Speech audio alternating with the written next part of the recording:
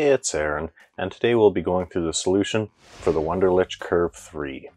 This puzzle is a level 9 on the Puzzle Master difficulty scale. This puzzle and many others are available at puzzlemaster.ca.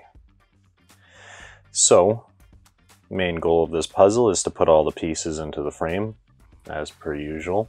Uh, this is a fractal puzzle, meaning that a lot of these pieces look very similar, kind of blend into one complete pattern at the end of it.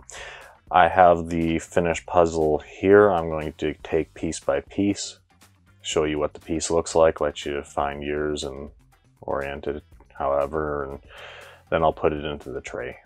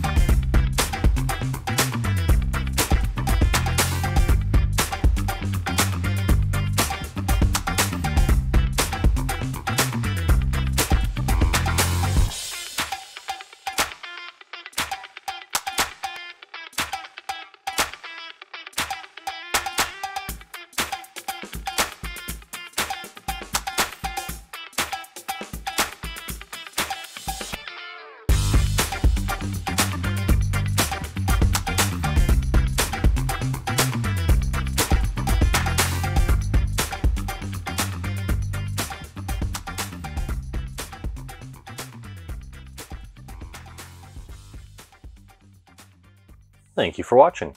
If you enjoyed this video, we have plenty more like it on our YouTube channel. Haven't had enough? Join our community on Facebook or Instagram. Want more puzzles? We have a massive catalog of puzzles at puzzlemaster.ca.